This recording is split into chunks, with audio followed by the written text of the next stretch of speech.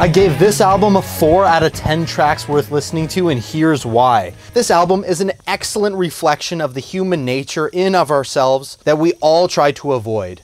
The harsh cynicism and the voice of doubt that creeps into our minds that is ever determined to capitalize on our own destruction.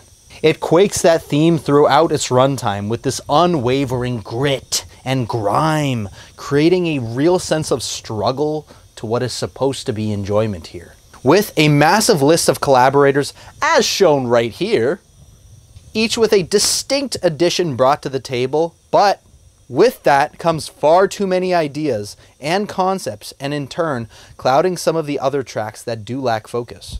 A takeaway that I found personally was we need to learn to be kind to ourselves here, people, which this album inadvertently became an exercise for Josh Homme, providing him with a level of personal therapy to contend with his own ideas and heal. Whether that's through the insecurities, the stress, the self doubts, or the worry, we need to trust ourselves and allow a moment of pause to stop and reflect on where we've gotten ourselves.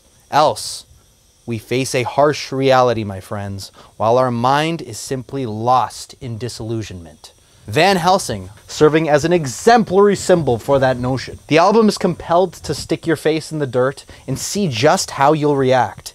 And in a lot of cases, enjoyment is fleeting here, unfortunately. It's an acquired taste, yet a silver lining remains in the highlighted tracks, with their executions being nothing short of exceptional.